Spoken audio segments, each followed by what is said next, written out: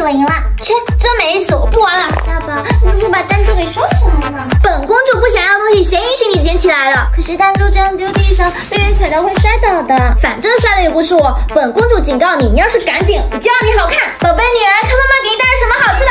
哎呦，包租婆，你没事吧？是谁？谁把弹珠扔在地板上，害我摔倒的？妈妈，是大壮，是大壮刚刚一个人在那玩弹珠。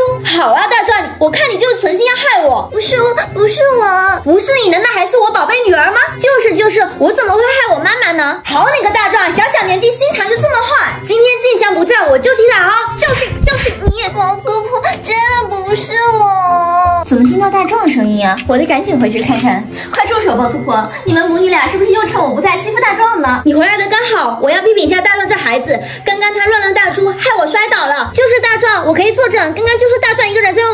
弹珠。大壮，没事儿，姐相信弹珠不是你丢的。这次你可不能再包庇他了。你们两个的话我可不敢信，我得去问问村民们，看看包租婆到底是怎么摔的。